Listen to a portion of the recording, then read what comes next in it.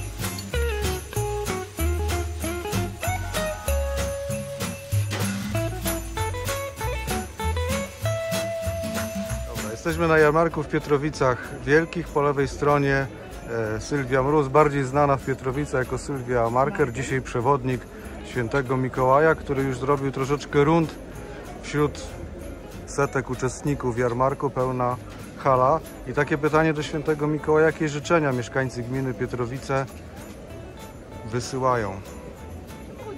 Te życzenia są niezmienne od wielu, wielu lat i myślę, że w każdym miejscu na kuli ziemskiej są bardzo podobne. Przede wszystkim wszyscy sobie życzą i chcieliby, aby te czasy były spokojne, upływały w zdrowiu, w zgodzie i żeby wszystkie te niedobre rzeczy, które się dzieją w tej chwili na świecie, miały swój szybki koniec. Bo tak naprawdę dla wszystkich na całym świecie jest ważne jedno. Spokój, zdrowie, szczęście najbliższych i to jest niezmienne od wielu, wielu lat, co Mikołaj obserwuje cały czas niezmiennie i wydaje się też Mikołajowi, że to są najważniejsze życzenia, których trzeba sobie życzyć w tych trochę trudnych czasach, ale oby właśnie one jak najszybciej minęły. Święty Mikołaju, a czy jakaś lista życzeń do władz gminy też jest przekazywana, żeby Mikołaj powiadomił wójta i innych radnych, czego to mieszkańcy by tutaj jeszcze chcieli? No tu jest ta lista zawsze długa i Mikołaj to przekazuje w taki sposób, jak tylko potrafi i władze to zauważają gminy, aczkolwiek nie zawsze są w stanie wszystkie te ich życzenia mieszkańców realizować, ale na pewno się starają, myślą o nich i coraz więcej tych rzeczy udaje się realizować. Dziękuję bardzo.